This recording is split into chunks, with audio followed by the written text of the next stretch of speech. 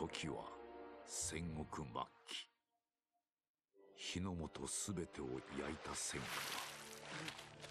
はいまだに勢い衰えず山深い芦名の国にも燃え広がっていた。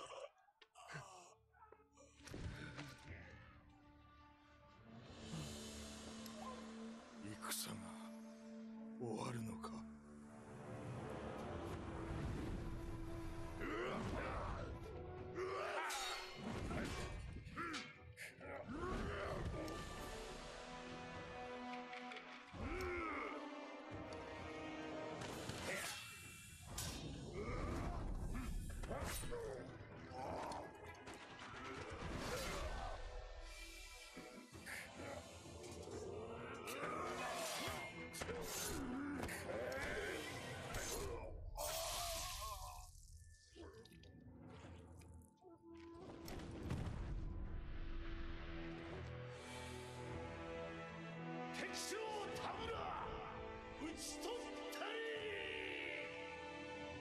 県政芦名一心国取りの決戦であった。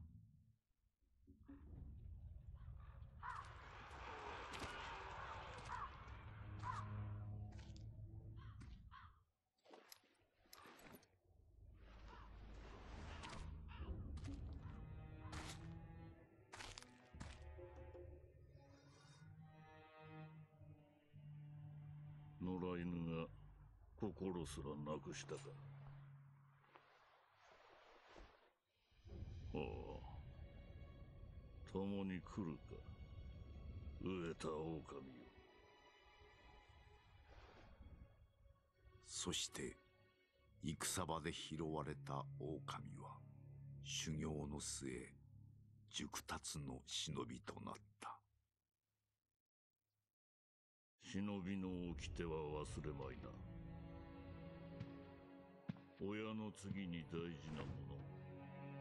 お前の心に刻むがよい。あれが今日からお前の主だ。命を賭して守りたとえ奪われるとも必ず取り戻すのだ。良いなら狼よ。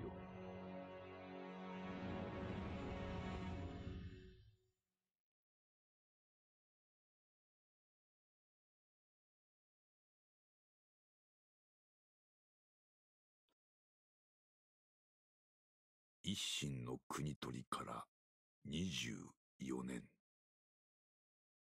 芦名の国は斜陽にあり狼の忍びは全てを失っていた。育ての義父も守るべき主も